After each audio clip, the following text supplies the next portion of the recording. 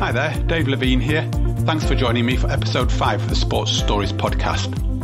Last week, we had Natalie Henderson as our special guest.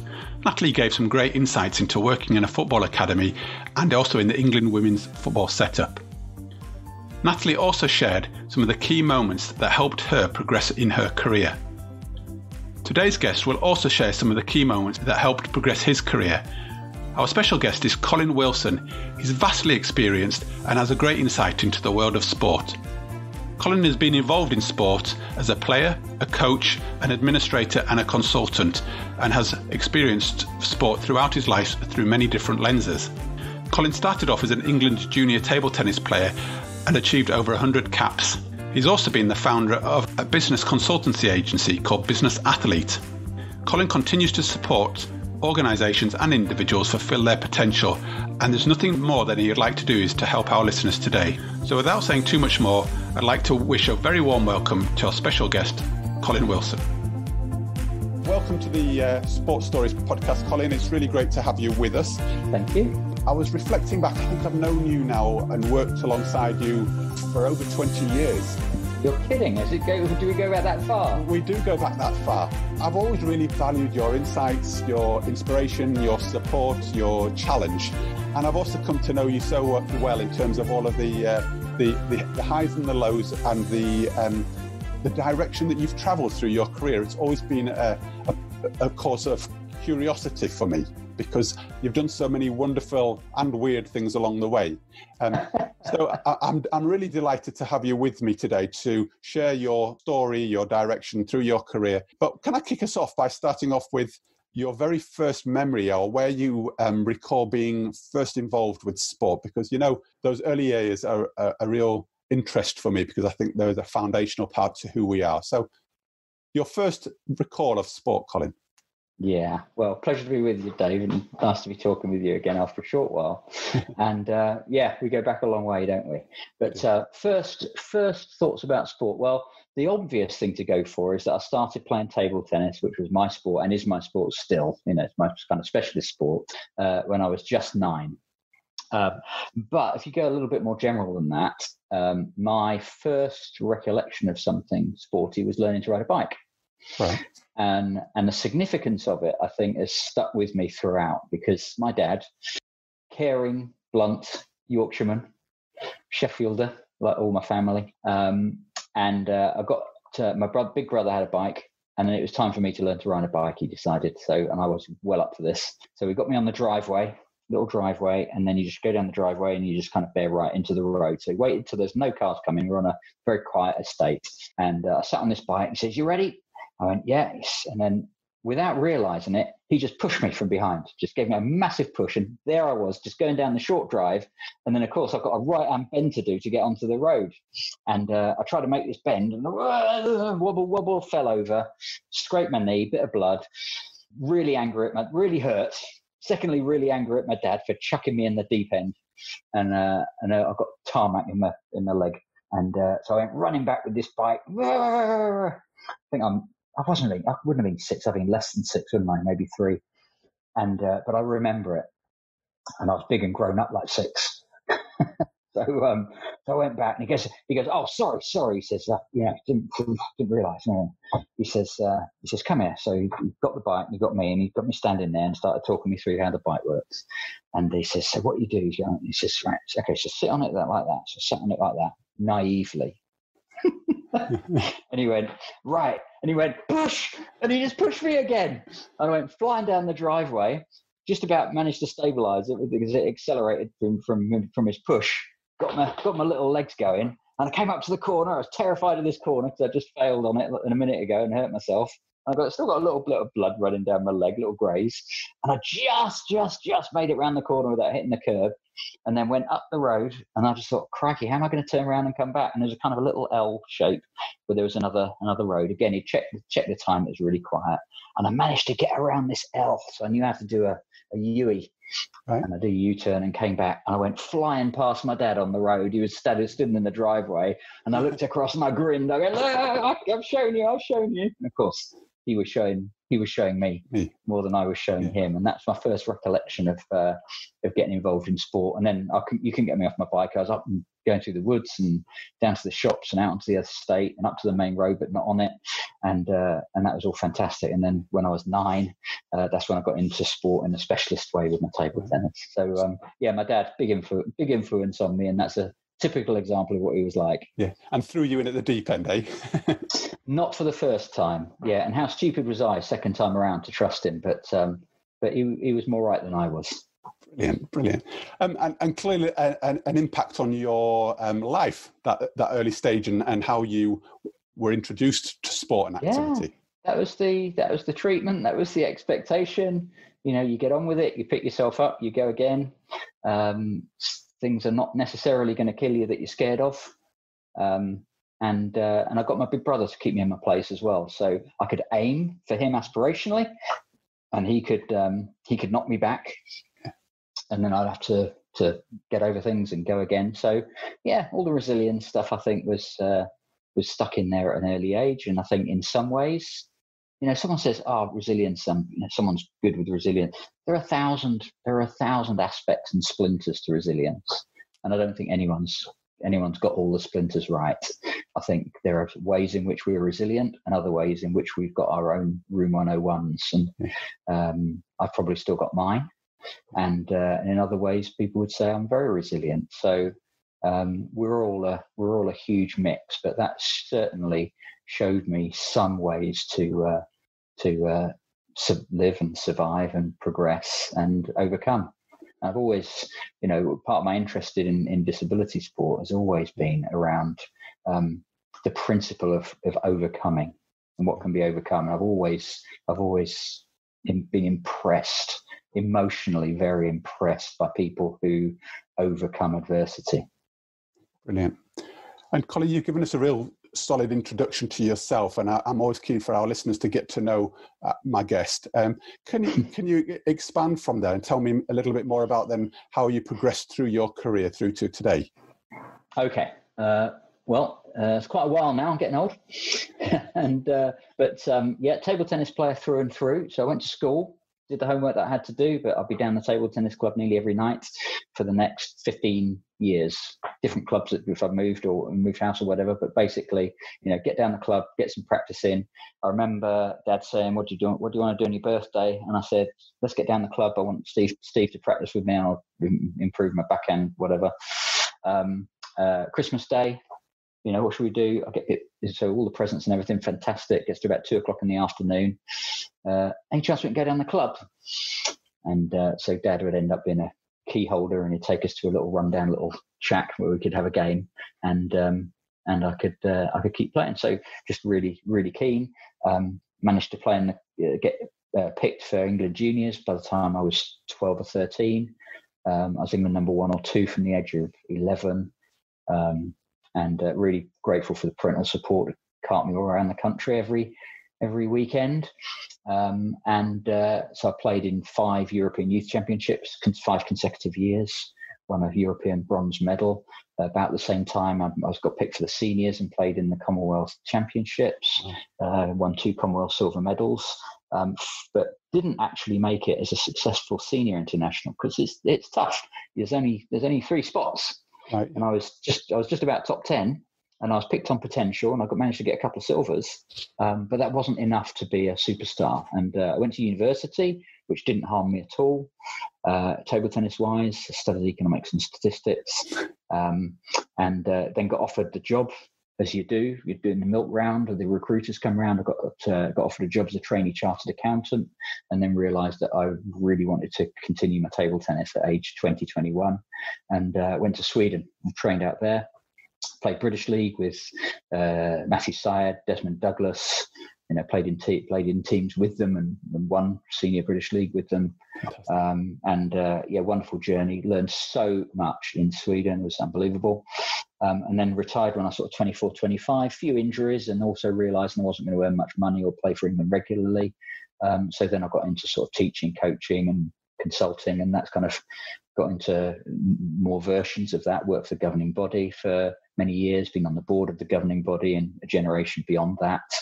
Um, and then um, got into um, got into uh, learning and development and coaching more, coach development uh, around business as well as in sport. So it was a, it was a fairly easy jump for me to be to be used as a coach and consultant in business, using what I felt I'd learned around around uh, systems and leadership and dynamics. So I've always been interested in that side of things. Wow. You, you, continue to uh, um, blow me away actually with a variety of um, experiences that you've had. And and I, I want to throw it back to you in a sense of through all of these experiences and you've mentioned the word sort of resilience and um, really sticking at things and pick, picking up opportunities. Are there any particular phrases or quotes that have underpinned your journey through through all of these um, lovely experiences that you've had that really helped you um, well as you know uh, my little brand with uh, with Rosie and, and and a few others and yourself is business athlete, and uh, and the strapline to business athlete is winning without losing. And since we coined that in 2004, I believe, um, that stuck with me the whole time. It means more than one thing. Winning without losing doesn't just mean winning at everything and never losing. That's not what it's about. It's about, you know, in a very basic way, it's about not looking for a win with such focus in one narrow area of life that you're losing out in other areas of life. Hmm. So, yes, let's be focused. Let's have that lifestyle immersion. Let's have that obsession that high performance sport can get us into. But let's not lose sight of who we are. Let's not lose sight of what life is all about. And let's, um, if we're working with, with people in business, let's make sure that they are not winning in business and losing in life.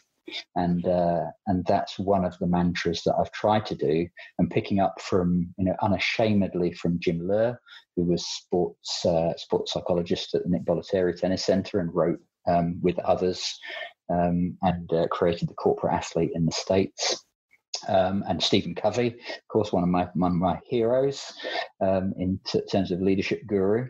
Yeah. And uh, you know, I know him, and I know about his sort of faith background and everything as well. Um, and they came up with the concept of integrating physical, mental, emotional, spiritual, and we use that so often, um, and it seems to be very very useful for a lot of people. And right now, in the situation that we're in, talking now on on uh, online on video, um, I think the integration of those four areas is uh, is even more poignant and prescient than it's as, as it's ever been.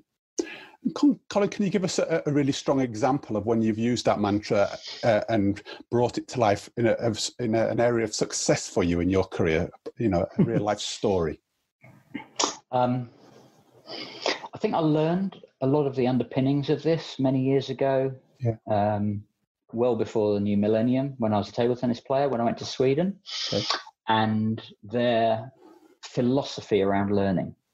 Yeah. And uh, Yogi Breisner, who's Swedish and working in the UK sports system uh, as an eventing coach, not just any old eventing coach, but you know, serious medal winning bloke. And we were talking about my experiences afterwards. We we worked together, but he's he is Swedish and in the sports system, and uh, and he said, uh, "Yeah, there's one way that uh, I, that, that I can explain it to to British and other another another aggressive societies around performance and learning." He said, "In um, he says my son goes to school, and they say." When he goes back to school after doing his homework, they say Breisner, and little Breisner stands up.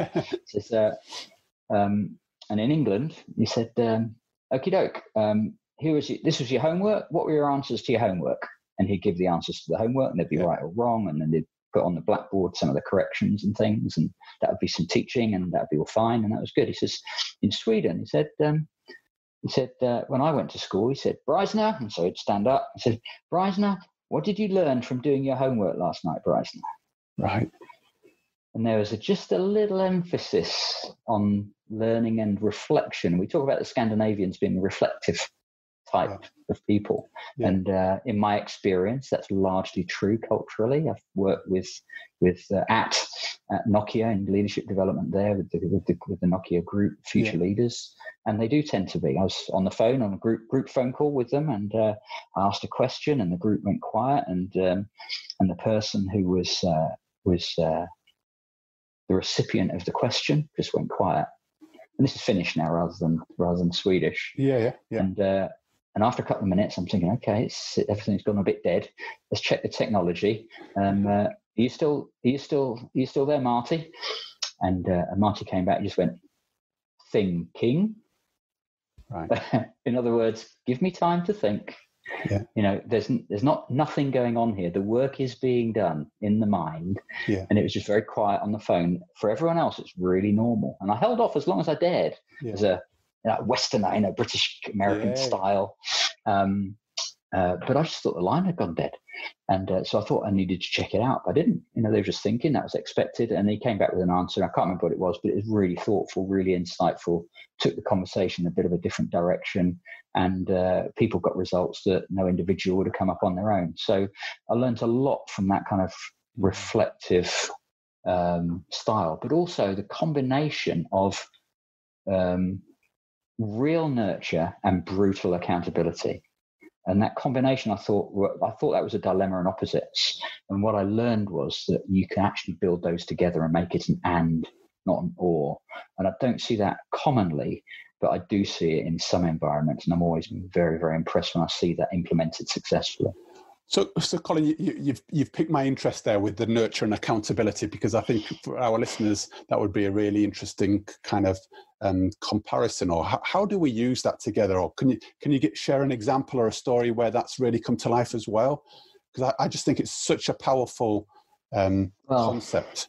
Yeah, and, and, and it's not fair to put people under the microscope too much. But if in my own family, as you know, I've got two two boys. Yeah.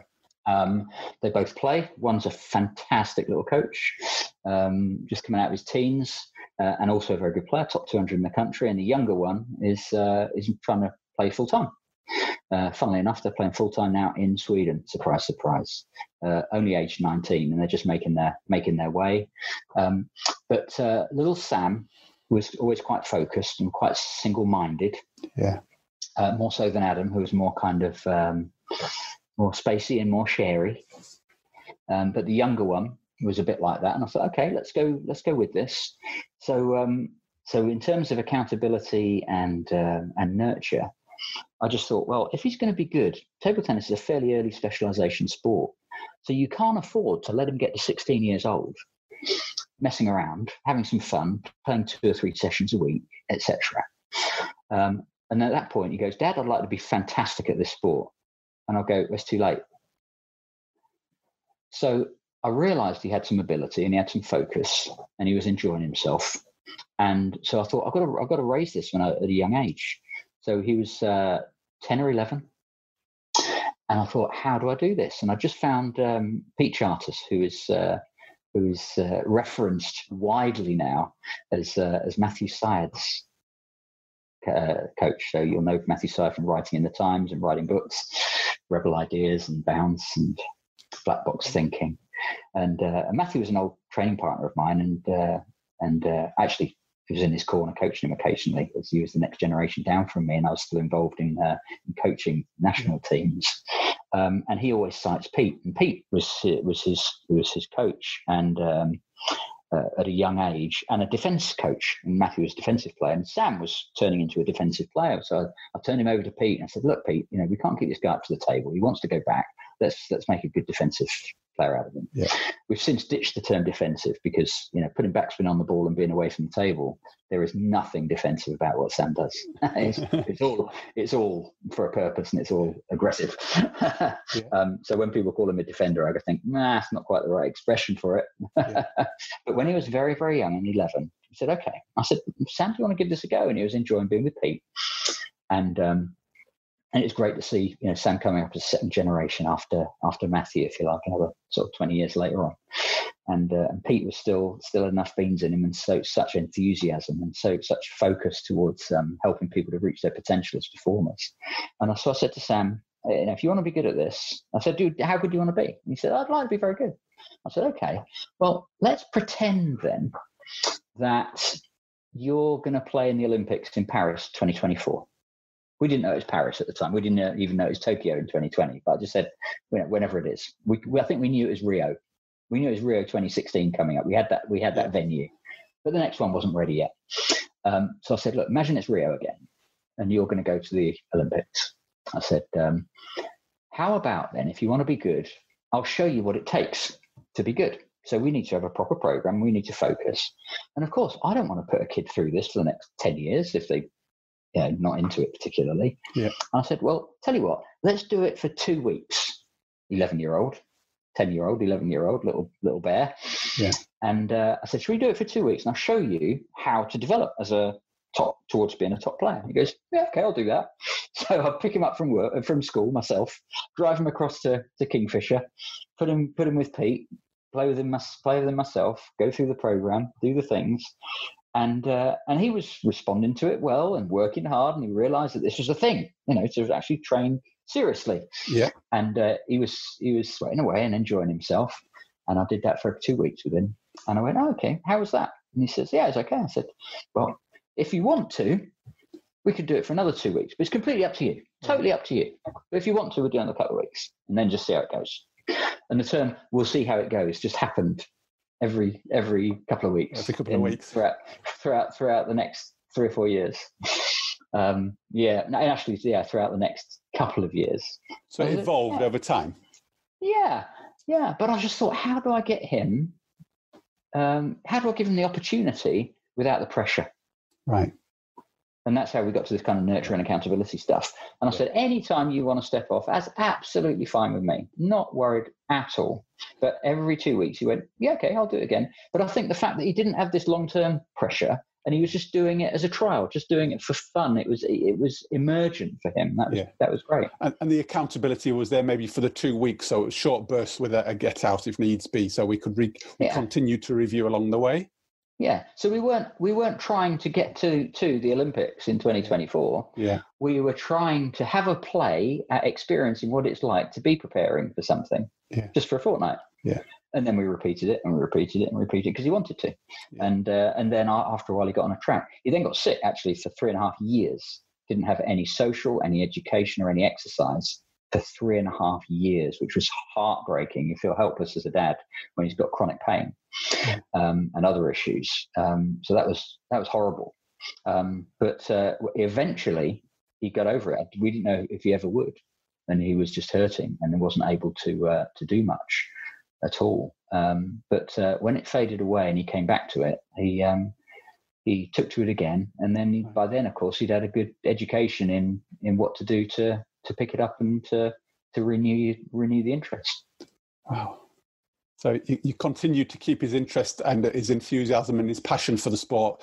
You know, so before he before he became ill, he he was enjoying it, and then afterwards he could pick it up again because he hadn't been um, drilled or taken to a place where he didn't enjoy it.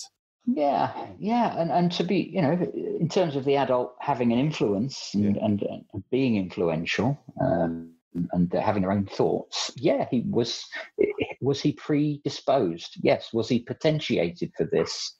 Absolutely.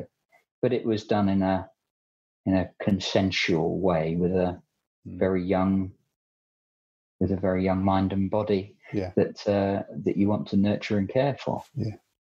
So, Colin, if if I move us on to a, the kind of the flip side of the coin in terms of uh, your lovely mantra about winning, winning without losing, um, it's been a time in your career or in your life that you can ref- take us to whereby you, it was a pretty challenging time and a, a, low patch and where that that mantra actually really helped you come through it and out the other side of it. And, and if so how?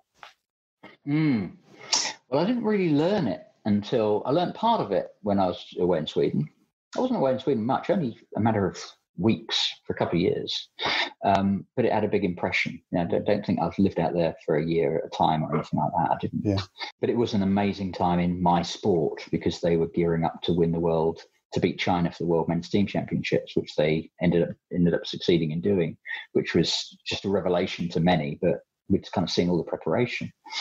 yeah, so I think the, the winning without losing didn't come till later. You know, I was Right, okay. already Yeah, I was yeah. already in my thirties, forties um, when that really kind of hit home for me, Yeah. um, and I was doing a lot of uh, coach coach development, leadership development, coaching Yeah. system development with a with Yeah. with a, a range of uh, a range of people. Yeah. Um, but a, a tough time where I think I needed it was, um, as you know, and I've still got the. You're looking at me on the video screen. I've got my Corby Smash ten, table tennis shirt. on. Yeah, I've noticed that's great. and uh, and we're doing we're doing well, and it's a part time club for me. And I threw lots of stuff into it, um, lots of money into it, lots of time, emotion, energy into it, and, and alongside others as well. Um, and it's still going, which is great. But um, yeah, it took chunks out of me to get it to get it going. You know, Mhm. emotionally and physically and and Yeah. financially. And I'm very proud of what we've achieved. And um, yeah, it, we're we're ticking over. But there were times in building that. So this is more of a kind of business story, really. It was Yeah. always going to be a non, it's always going to be a non-profit, but we were hopefully we were hoping that we were going to get paid for the effort we put into it, um, but not distribute sort of profitable dividends outside of the organisation to directors, kind of thing. Yeah. So kind of a semi-commercial non-profit. Yeah. Um, and it was taking chunks out of me, and we weren't getting the people through the door, especially in the daytimes that we were hoping for. Yeah. Um, so having put a massive effort into it, we had a big marketing um, effort, uh, but also you know marketing you know issues, and um, and the finances were, were going down. I'm just chucking chucking more in, and it's and it's hurting, really hurting. I'm not getting the time to do my other my other work, and it's kind of kind of clouding everything and taking over.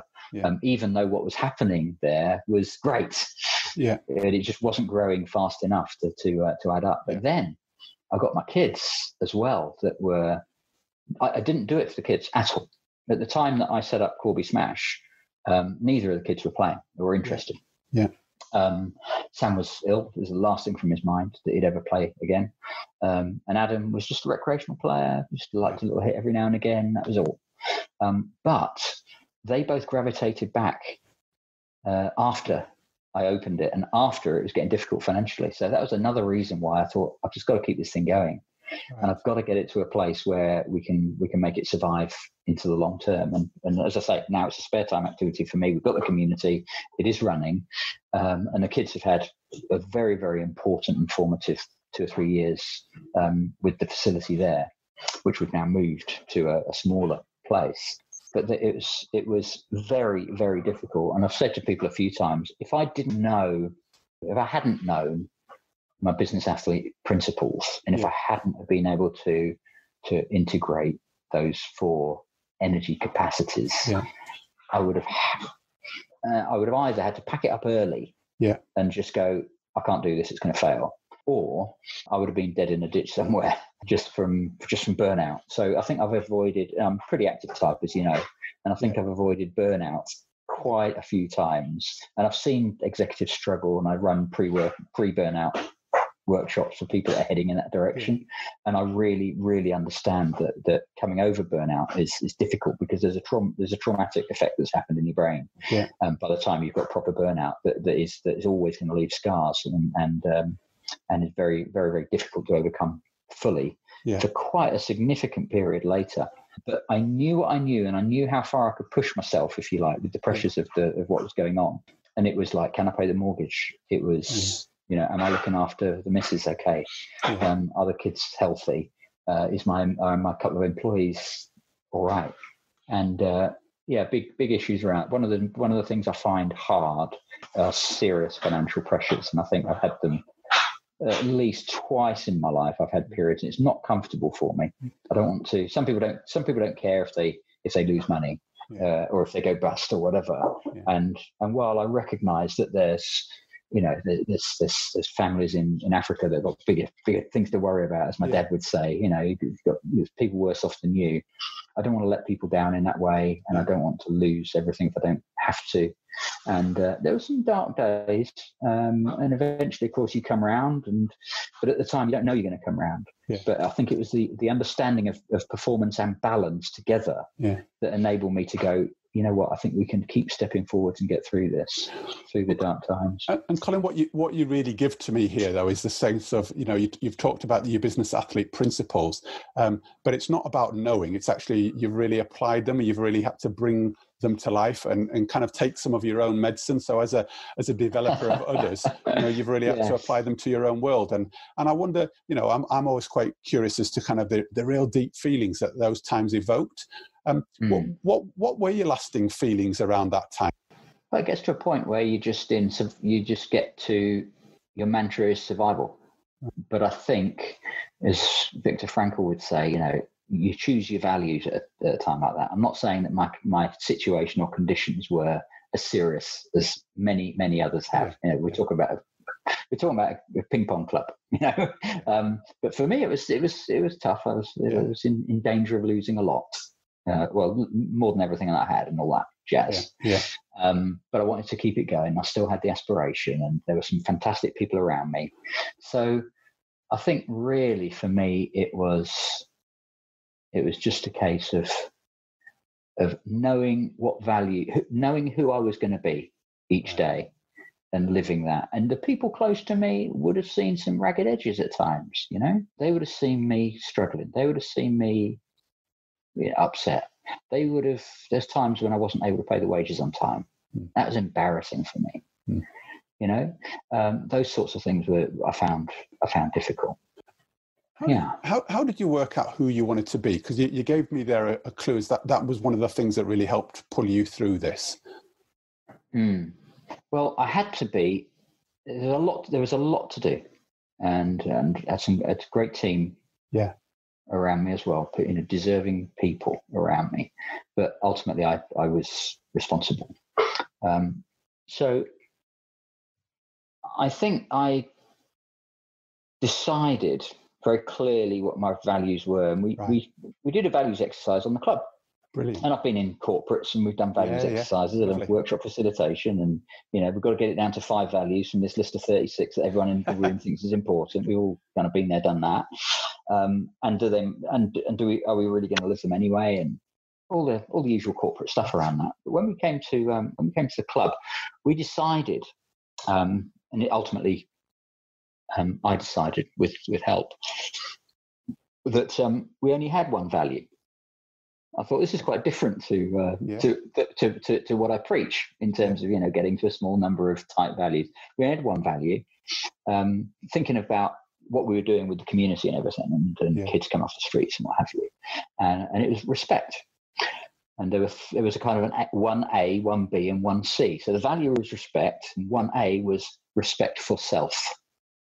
Number two was respect for others, for all others, respect for all others. And number three was respect for the environment, whether that's not smashing a ball around because you're frustrated or bashing the net or whatever, yeah. uh, shaking hands with the umpire at the end of a game, all of those sorts of things. So respect was the only, and I just thought, I just thought, right, what's the next value?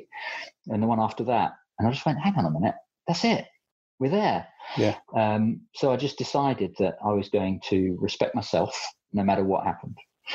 That I was going to respect all others no matter what happened. And there'll be people who will watch this and go, Well, Cole, you're a bit flipping ragged with me at some points. And that would have been the pressure of the task and the pressure of the, yeah, the role at times. Yeah. Um, and I'll put my hand up to that. But I think underneath, I've managed to to uh, remain a decent human being. Yeah. Um, and third one, respect for the environment. So to, to try really hard to hold on to this, uh, hold on to this, this venue for as long as I could until I realized that we needed to move somewhere that was uh, that was easier to to manage. Yeah. And to try and keep the venue iconic, so I'd continue to invest in the flooring being the best in the country, the lighting being the best in the country, so you could run you could run a world championship or Olympic championship final there. Um, so anybody could could could understand what decent decent quality experience was, and we'd have Adam working as a host and Henry and Tony coaching and you know, fantastic stuff. You know, well done, well done them. And um, and uh, and so yeah, I was hanging on to that. Yeah. I was hanging on to that. And you paint a lovely picture for me in terms of that three-legged stool again, in terms of balancing off the self, the other, and the environment, and keeping a nice balance between them all. Because I guess yeah. you had to look after yourself here, as well as look after the people and the uh, the club, as well as also making yeah. sure the environment was as as professional and as quality as you would like. And I, I can see there's a, a nice healthy balance. I, and I sense that that's what pulled you through by keeping that check in, in place. Is, mm. that, is that fair to say? Yeah, well, one of the things I learned from Robin Shohet in, in, in facilitation is a wonderful coaching supervisor. Um, he's written widely with uh, with um, you know some of the leading leadership thinkers. And uh, I always remember in one of the supervision sessions, he says when you walk in as a as a workshop facilitator in a serious corporate environment, he says you don't have the luxury of being self conscious. Yeah. You don't have the luxury of going in with doubt. And I just thought, this sounds like boxing to me. you know, if you're a boxer, you don't have the luxury of going, well, I think my chance is 60 40 you know you've got to be you've got to commit your brain to it. Yeah. and you you don't have the luxury of doing that. And i think it's been a really helpful mental tip for me to work with the kids yeah. some of the young players that we've got um, that uh, you know getting nervous in a game. And every now and again i've i've tried i've used a little i've used it and it's worked. I've just said to them come on. How you feeling? Oh yeah, a bit nervous. Yeah okay. Right well if you if you're going to be nervous you're going to i've just said i think i can hear my dad in myself but a bit of robin as well. I say well if you're going to be nervous you're going to lose aren't you? So don't bother with that just don't bother with it. Just go and play. And they kind of go, some of them go, oh, all right then. and that's it.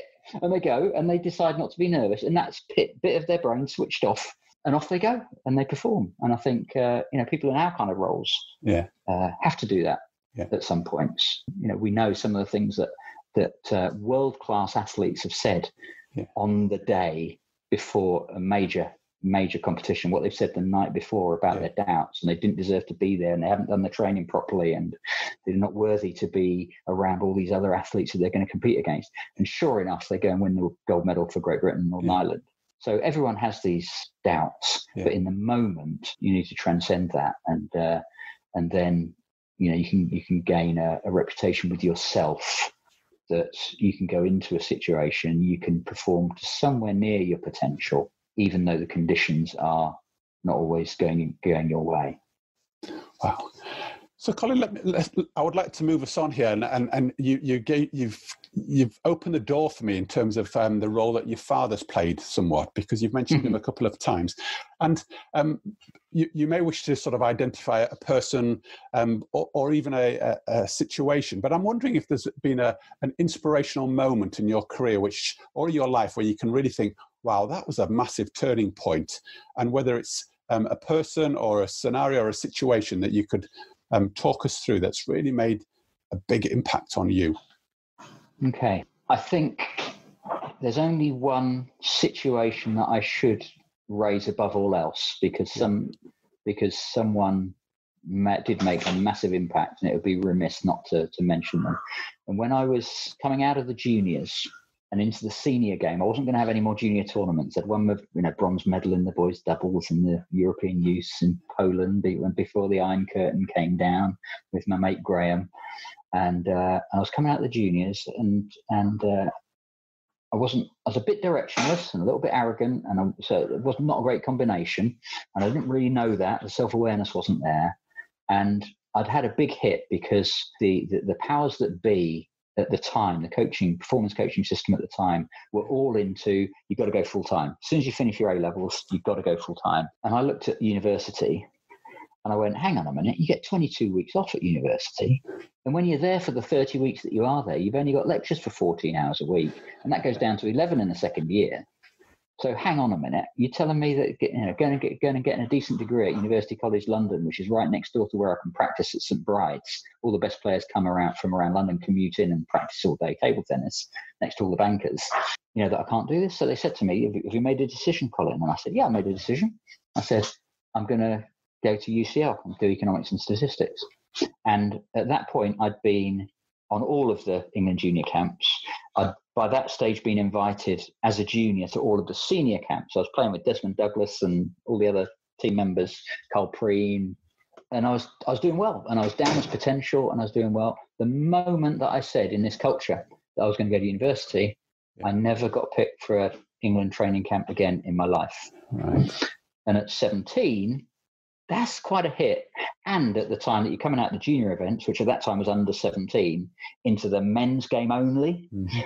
And that's a huge, huge reset and a huge new hill to climb. So that hit me hard.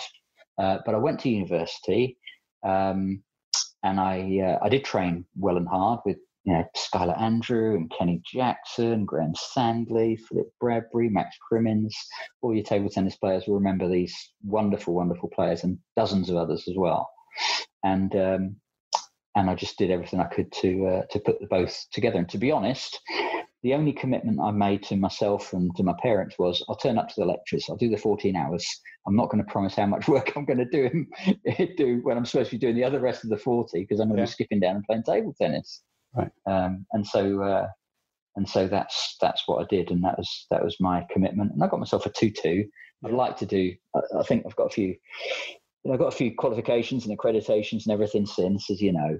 Yeah. Um, but uh, there's always a bit of me that says, you know, go back. You know, come on, get a get a distinction at something and get a, get a masters with a distinction because you could have done better than a two-two. Yeah. Just that I was too busy too busy hitting little ping pong balls over six-inch nets while I was uh, while I was there for three years. And, and and who was the who was the inspirational person then in in that environment? Okay. 'Cause that, So, clearly played a big part of of you, you know, and and and shows me a big sense of who you are there actually in terms of your determination to plot your own course actually. Um, Yeah. But Okay. Well, the, the power behind the power behind that was Peter Hurst, right, and Peter's fairly well known around sport. I think he was chief exec of the New Zealand equivalent of, of uh, Sports Coach UK, or as, UK coaching now. Yeah. Um, many many years ago, table tennis player and coach himself. He was about as good as I was. Played for England occasionally, um, and um, and he got hold of me and he says, "Colin, you're coming out the juniors," and he says, "You're going into the seniors." And uh, he says, uh, "What do you think your game's like looking ahead?" And I went, "Yeah, yeah. I mean, well, What are, you, what are you getting at? You know, a little bit defensive. Well, I'm doing okay. You know, just got to practice hard." And he went, "Well, your game is that is your game built to beat good juniors, and is your game built to beat good senior players?" And within about five seconds of reflection, I went, Hmm. "You're right." And I hadn't really thought that through fully. I didn't have that long term perspective properly. And I thought my game's really designed to beat very, very, very good junior players. But the senior players with the increased power Right. that they're going to have, and I'm not big, and they were going to, a lot of them were going to have more power than me. Um, I realized my game wasn't set up for that. And he said, You're going to need to make some changes, aren't you? Yeah, you're right. Uh, and I said to, uh, he says, Are you prepared? He says, I'll, I'll help. I said, Great, thanks a lot. And I just thought, here's someone, probably for the first time ever, that really, really understands me and my game and the game against, you know, the, uh, the, environment I'm going to be, I'm going to be in. And uh, so I said to him, Okay, I said, how long is it going to get take to to go backwards to go forwards? I know there's a restructure coming on here. Mhm. So at 16, 17, I did a complete restructure of my game, technically. Yeah. Which is not an easy thing to do.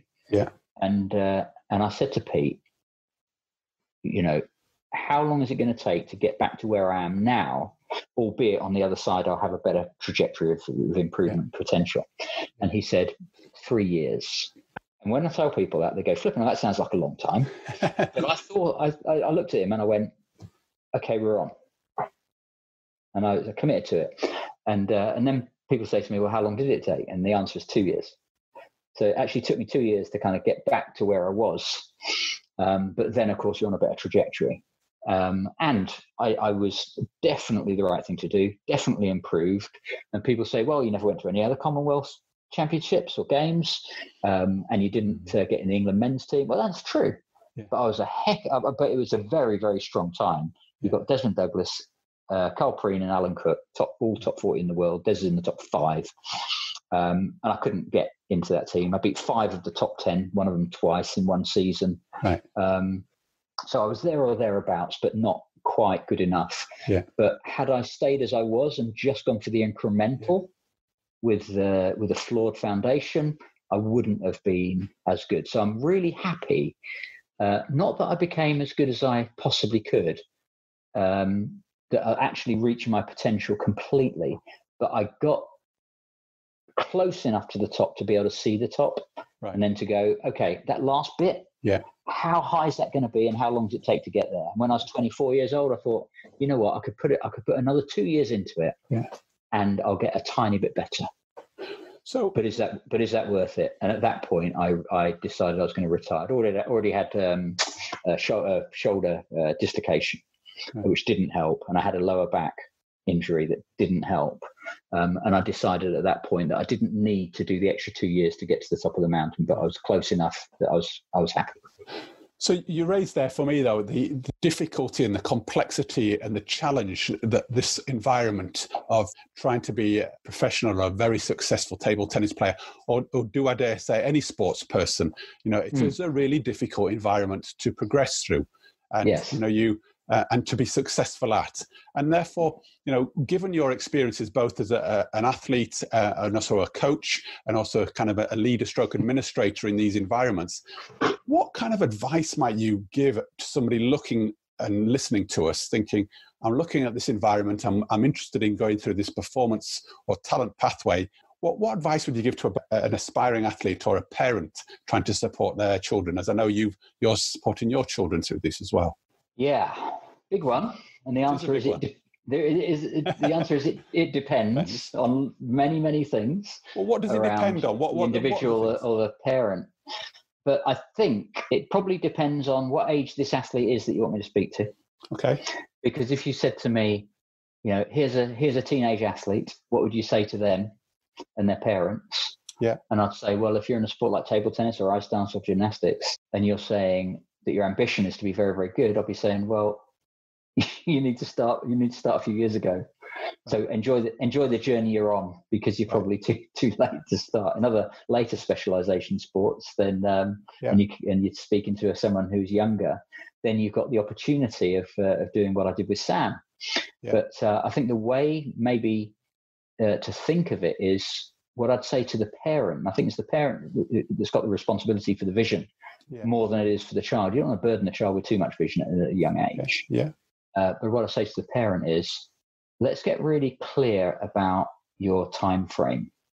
Right. Are we talking about uh, taking it as it comes and being emerg- emergent and seeing how it goes yeah. and trying to get from club level into the county team into a regional squad yeah you know if we're talking about a performance athlete that's fine but that that approach is probably not going to take you to the top yeah it may do. You may not have enough time and space, but it may not. And I, I accept that I'm coming from a, a, fine motor skill sport, so you so it's yeah. typically more early specialization. So I'm I'm clouded a bit by that, but generally speaking, I think it still holds. So if what kind of conversation do you want to have with your child athlete yeah. when they're 18, 19? You don't want them to be saying, I wish you'd have pushed me harder when I was younger because I would have liked to have been really good at this and you miss the opportunity. You miss the boat. At the same time, you don't want to push a young kid that doesn't know, you know, particularly what they want in terms of their aspirations and be a pushy parent yeah. and destroy them, destroy their enjoyment and destroy their career because the parent wanted to keep that option open. So I think you need to be really clear about about where you where you want to go. And 99% of the time, I think the right answer is let's not get obsessed with ultimate performance. Let's enjoy sport yeah. and see how it goes and build it up. And we accept that we're very, very unlikely to be to be representing our country or making a living or what have you. Um, and let's just have a great time. If you are, however, trying to keep that option open, then you've got to be brutally accountable to yourselves for that mm. and to say, you know, how am I going to organize this in a way that is not damaging to the child? And it's not trivial. It's, it's a very, very uh, fine line and it's a very, very serious question. But done right, you can create a heck of a lot of joy throughout the whole family. But what is absolutely clear to me that you that you shouldn't do it if you're doing it for the outcome. You must do it if as you can only go that route if the journey alone with no outcome is worth it and it's in and of itself yeah. then it's justifiable that you can't do it. You can't do it for the outcome and not for the journey. Yeah, there's those lovely quotes in there. You know, if we look after the process, the result will look after ourselves. And I think you're really playing to that in terms of we're working here with a, a young person's process, their journey through life. And actually, mm. if we look after that well enough and support it and nurture it, yes, and hold them accountable at certain times, but also help them work out what it's about. I get a sense you, what you're saying is that you know the, the results will work out. They'll, they'll find the, the right place for themselves. Right. And at yeah. the same time, if you take my situation with Sam, I'm you know it's a little bit unique because I've played yeah. at a decent level and, and, what have you. It's not every parent would would have had that previous uh, yeah. experience of being on a similar journey. Um, but at the same time, it was deliberate from my point of view. What was deliberate? The vision the vision the, the, the, existence of the vision was deliberate from my point of view because i needed to know what next steps to put in place to keep this to keep this possibility alive without it being a burden to the young athlete yeah. So the vision is deliberate um, but we don't want to burden the we don't want to burden the, the child with that. So uh, as, as they sometimes say in teaching teaching is deliberate teaching is deliberate for the teacher but learning is incidental for the learner. So they're not they don't have to worry about that that someone, and I, if if you're saying, uh, am I talking to a parent with an aspiring with aspiring young athlete? Yeah, we need to get really clear on that. And then the second thing I'd say to the parent is, do you understand what it takes if you if you want to to to keep open the possibility of becoming truly excellent at this? Because most parents, to be honest, yeah, in my experience, most parents don't have the conscious competence to actually know what that journey needs to look like it's not obvious it's not intuitive yeah. and you do you do need help from somebody that understands the pathway of sporting excellence to to help you understand what is needed and then that needs to be adhered to but in but not in a way that gets in the in the in the child's way as an interference um, to keep that pathway open Wow. So th- we offer some really great thought, um, some provo- provocation, even um, some guidance there for for parents. Say that because, about me.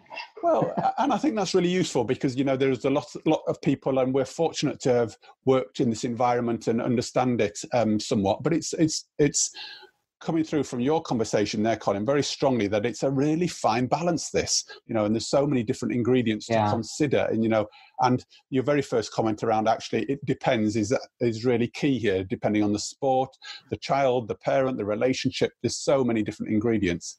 Um, so I think you make a really valid point there. But actually, it's a it's it's something to go into um, with your eyes open maybe, and also not to take very much lightly from what you're saying and the experience there, that you had. Very, very much, yeah. And and yet the delivery needs to be light. Yeah. We need to deliver this stuff lightly and elegantly and with fun and and with a smile yeah. and and oh and own that for ourselves that's our journey too but we yeah. just have an understanding of what's behind it too yeah well and with that point and you've got a smile on your face there i'm going to just ask us before we go into the um the, the kind of the quick fire round uh, of questions mm. i'd just like to put to you about, um, you know, who has been probably the most influential, inspirational person in your career? You, you mentioned your dad, you mentioned Peter Hurst as different people. Mm-hmm. Is, is there somebody else that you would say has had a, a huge impact, or are, are, those the two key people? Wow. Um, well, those two are the, are the, are the must dos. You know, yeah. if, if, you're asking me about that, those my dad and Peter, um, Peter Hurst and Dave Fairholm came as a team. Yeah. Okay. So Dave was a massive mentor, and I was speaking to him day before yesterday about okay. mentor, mentoring issues, and he's still a, a, a, guru to me. It was 1984 right. when we wrote the Pocket Guide to Table Tennis Tactics together. we we go back a long way, and still now he's able to help me shift my brain in good direction. So, Great. so he's another one. I, um, there are loads. There are too many to mention. If yeah, I yeah. start mentioning three or four, people may not know them, and um, okay, and uh, I don't want to I don't want to um, to miss out too many people. What I will say is my my heroes are tend to be not the the, the usual suspects. Yeah. In the in the me you know that they've got a media profile. Yeah. Um, my greatest hero. Yeah. In terms of living their life as they should to others um, is my cousin. My cousin, you wouldn't know in sport, doesn't play sport, um, has um, uh, um, paranoid schizophrenia and by and and very serious bipolar. Yeah. At the same time, Wow. and has had since they were a late teenager. So they've Yeah. given up a lot. Yeah. And it brings a, a lump to my throat every time I think about this Yeah. about someone who just does what they need to do, Yeah. adheres to what they need to adhere to, Yeah. ex- d- has appropriate expectations of life, Yeah. and makes the most of it and creates a happy life. And Len, he's got married. Yeah. He's got Brilliant. two, he's, he's had two kids. They've grown up to be wonderful. His mum's still there. His dad died of motor neurons disease. Uh, he cared for, cared and tended for him. His mum is still alive in her 80s, and I spoke to her the other day, my auntie Barbara. Um, and it's the people like Len of this world, Yeah. whether they're making, you know, obvious large contributions or the smaller um, human contributions that Yeah. make the fabric of society work. And and he's just he's valuable by being who he is, not by what he does.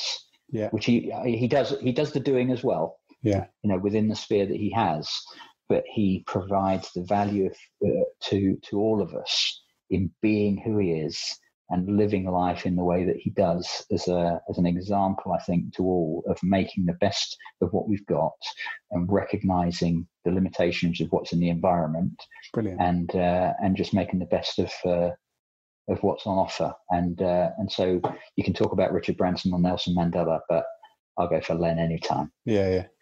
Well, and, and on that positive note of of, of somebody really um, being who they are and Yeah. being really true to themselves, I, want to take us into our little quick fire round here, where I'm going to ask you a number of quick questions. Um, and and, and I make me nervous now well, it, it, it's pretty simple because this is really a, a powerful part uh, of the uh, the conversation for me in terms of really helping and giving some guidance and advice to um, to our listeners. So, Colin, I'm going to ask you, as I say, a number of questions. Your gut answers, your for gut instincts will be great. So, um, what maximum four books would you recommend that have really helped, inspired, and educated you along your way? leadership team coaching by Peter Hawkins and Nick Smith. Nick was a personal supervisor to me, and I've done a lot of work under under Peter. Uh, so that's a classic in terms of uh, Yeah. leading and coaching teams. Um, going back to um, winning without losing, business athlete mantra, emotional, physical, mental, spiritual. Um, I'd say the power of full engagement by Jim Loehr and others. Yeah. uh, is another classic, and then uh, a chap who was a after I finished playing table tennis. I went to help my mate, a table tennis player, Mark Mitchell, a senior international Yeah. player that had a, mechanics business, and I went to help him. I didn't know it was called management consultancy. I just went to help my mate to uh, get rid of his overdraft in his little mechanics business. And he had a customer. He was in Hampstead, um, and he had some great customers. Real, it's an unbelievable North, North London Northwest Three. Some amazing people there. And one of his customers was called Arnold Arnold, and Arnold Arnold had a little faded red Golf CL, Yeah. um, which we'd bring in for servicing. And he gave us a copy of his book, and he, he wrote a book, and he, it was called "Winners and Other Losers in Peace and War." Right? and it was quite a thick book. It wasn't just a little article. Yeah. And I read this book, and the guy's a genius. And he was just citing how by trying to win and to win against things, we just create so many losses, which then re- which then rebound on ourselves. Right. So this was mm, well before 2000, well before winning without losing, but it was probably my first kind of introduction to the philosophy Yeah. of winning without losing. So he called his he called his book "Winning Without Losing." So that's a, is that number two? that was three. That's number three. No, number three. Yeah, of Yeah. course. Um, yeah, sorry, he called it "Winners and Other Losers." Okay, brilliant. and then this with a subtitle yeah, Um, in peace and war um, and then i've got to go with um, glenn doman's book which i found at complete random and found the title of the book unbelievably challenging and i just thought this is either evil or fantastic. And i picked it up and had a look at it and i thought oh this guy's really onto something. And his name's glenn doman. He's in his 90s now. Um, and his book was called how to multiply your baby's intelligence. Right. And having just and and um, and then having a child who was born with a brain injury, which we subsequently worked to fix, uh, unashamedly so, and learnt a lot about um, practical neurological yeah. development in doing so uh, with uh, with our eldest, and you would never know it to this day. Um, but knowing the, this, the gravity of the situation we were in, yeah. having having had having read that book and knowing what to do made a, a, huge difference. So, technology, what technology really works for yours would be your go to place, whether it's um, a piece of software or a piece of technology? Yeah. Okay, so two things that I find most impactful. And I'm going to surprise you here without going for anything. I'm not going to go for the singing and dancing. Yeah, no, good. Heavy, heavy tech. Um, but there's some heavy tech that does big data and all of that that is yeah. very useful. But in the end, my, my two, uh, one has been Zoom, yeah, albeit albeit with uh, with a few security issues, yeah. Um, but they're getting they're getting there. So yeah. Zoom on group video. Um, last night I was I was uh, running a because uh, we uh, we're in lockdown at the moment, yeah, and um, and uh, with this coronavirus, which uh, whenever you listen to this, you know that will be a thing for the early part of 2020, learning to live with uh, with what's going on here. So last night I was running a uh, a group table tennis session for my uh, intermediates, and then subsequent an hour and a half later for my advanced group uh, by Zoom. How do you play table tennis in a group with a group session with teenagers um, on uh, online and on video? And how many did you have on? Uh, had five in each group. Brilliant. yeah, odd number as well. um, but yeah, you get a bit of creativity, you can do that. And Zoom has been uh, absolutely fantastic for that. And the other bit of technology that I think is most most impactful that I use, even though I use some heavier tech, um, flip chart and pen. Yep. Good, good. Those are the two that make the biggest difference in my in my armory. In your armory, great stuff. Okay, next. So I've gone, so I've gone low tech on you. Low, low tech on it. Hey, low tech. I, I, like that. Always breaking the rules again, eh, Colin? well, that's a little bit of that. um, so, if if if you were to win the lottery, how would you spend your money? Uh, so, if I won the lottery tomorrow, I would number one use the first bit of the money and pay off any debt, including any mortgage on a house. So I'll get get myself out of debt. Don't like um, you know, as I say, I'm not, not so good with finance. You know, if one of the worries is going to get me, it's probably financial. Um, and just a principle of not owing anyone anything, being independent, being, um, yeah, not being dependent, being independently robust. Um, so I'd pay off any debts.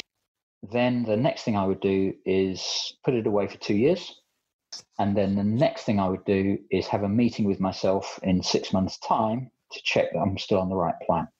And at that point, I might have more idea of yeah. what's sensibly to do. But I think the worst thing you can do is tell people about it. And I think this, even if even if you're going to do good and wonderful things with it, you know, I can't see that I can't see what the benefit of telling other people about it would be. Hmm. I think if I'm going to create some good out of this, then I need to really think this through properly, without any without the noise of all of that fame and stuff. So uh, that's what I do. Okay, good stuff. Okay, I'm going to keep firing them at you. So sharpen these up then. Um, I've got a question here. You, you mentioned the business athlete principles. What do you do to help you perform at your best in terms of your physical and emotional well-being? Values. Connect with my own values. I would uh, just remove myself from any. Extra, I'm quite extroverted. Remove myself from any extroversion. Just go somewhere quiet. You know, meditationally uh, remind myself who I am, irrespective of what's going on in the world. And then typically, what I do, I'd think about who are the important people. Everyone in the room, every, you know, I'm, the situation I'm going to go into. Yeah. In that situation I'm going to go into, everyone in the room, metaphorically or physically, is sacred. So I need to stand in the shoes of every individual that represents whatever stakeholders there are, and look around from their position and imagine some you make some mistakes, but imagine their needs, their motivations, uh, what success looks like for them. Um, so just get a feel in their shoes. Then I think what you do, you look at the relationships between them, and then the key themes that are likely to arise and likely to develop in the system. Um, and then from that point, I think uh, what you can do is to um, is to play a play a role in contributing to positive dynamics that moves things forward. Great. Wow, powerful stuff. Okay, my, my next question is uh, one of my favorites. So I'll see how you go with this one. Is um, What advice would you give to your teenage self? Get some advice, some, get some advice from someone five years earlier. back to my back to my don't start too late right um, philosophy. So um, yeah, if I was my teenage self, I'd say go and get this advice when you're ten. Um, right. And I think there's something there's something in my history about that. That's um, when I was 12, I didn't really understand about mental approaches and what have you, and physical, yeah. technical. You know, I learned technical, technical, philosophical from Pete. I learned mental from listening to Brian Tracy tapes when I was in my early 20s. Yeah. You know, and then what, what I want to do is to help the 12 year olds to know what I. It, it, took me to 20. I was 22 years of age uh, to learn, and so um, so my advice is get into the adult learning principles. You know that we that we talk about as early as you can and just play with them. You haven't got to go with the long words or anything, but get into an interest in the way that the mind works, into neurology, psychology, etc., um, and learn how you operate at an early age, That's just in fun ways. Don't wait. Don't wait until you're in your twenties to do adult learning. Brilliant. Do it now.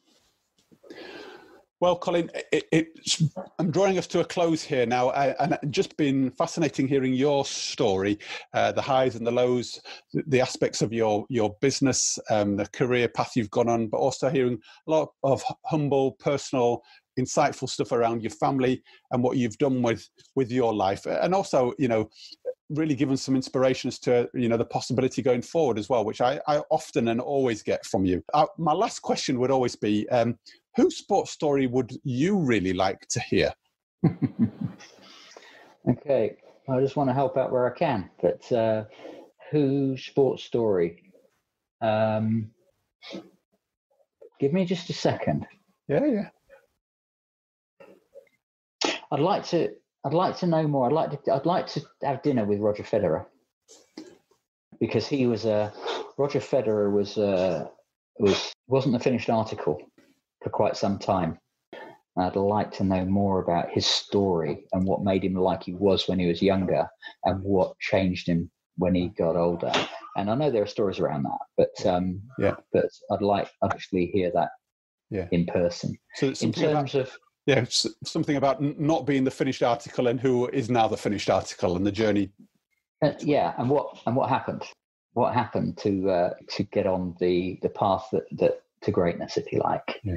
Uh, in terms of uh, someone in, uh, let's say, in British sport, I would love you to uh, do one of these, or I would like to go and have dinner with um, Dave Collins, sports psychologist, yeah.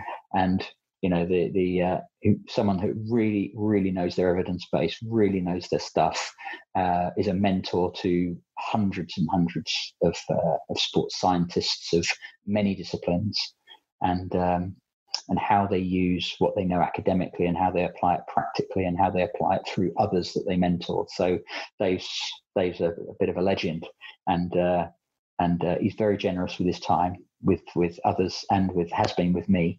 And I talked to him not long ago, just after he was done something important with Chelsea, I think, or something, and um, football, and uh, and that was nice of him. But I'd uh, I'd like to I'd like to get the opportunity to to find out more.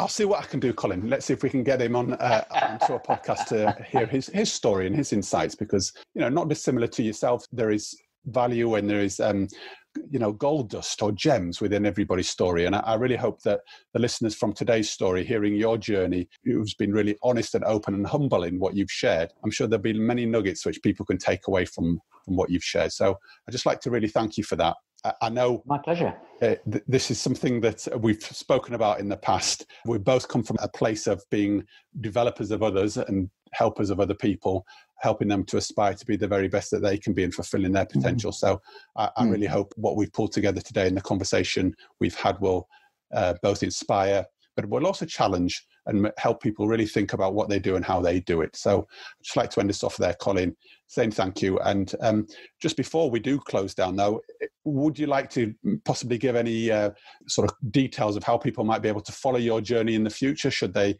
should they be interested to make contact or see what you do? Yeah, you can find me on LinkedIn. Just message me um, if you want to uh, to get in touch. Uh, you can email me, obviously, and uh, and uh, if you just look look me up on Facebook, you see some of my everyday stuff going on and uh, and that would include me personally and, and uh, the way that I communicate with uh, with friends as well as the, my professional stuff. And of course, we've got Corby Smash Table Tennis, which has got its own Facebook page, and I often sort of um, you know re regurgitate some of the things that are coming out of there.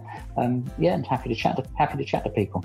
Well, I'd encourage people to make contact with you because, as I said, I've learned a lot from you throughout the years, um, and you've inspired me, and you've always always made me really think. So, uh, on that note. Thanks, Colin. Really enjoy your time today. My uh, pleasure. Look after yourself. Take care. Hope it helps someone somewhere. So there we have it the sports story of Colin Wilson, his journey from riding his bike through to being an international table tennis player and now a high performing coach, consultant, and people developer. Colin is never shy of sharing his views and insights, which come with a powerful intent to help others develop and perform. Colin always makes me think. So, the conversation today made me really reflect on many things, including what information would I have liked to have known earlier in my life and career. So, the questions I would like to pose to you to think about today are as follows What do you believe to be true that may not be helping you? Also, who might you ask to help challenge those beliefs and assumptions that you have? It's been great having you with me on the podcast. I hope you have enjoyed it and it's made you think. Please follow us on social media if you're keen not to miss any of our great shows. From me, Dave Levine, look after yourself and I look forward to having you with me on the next show.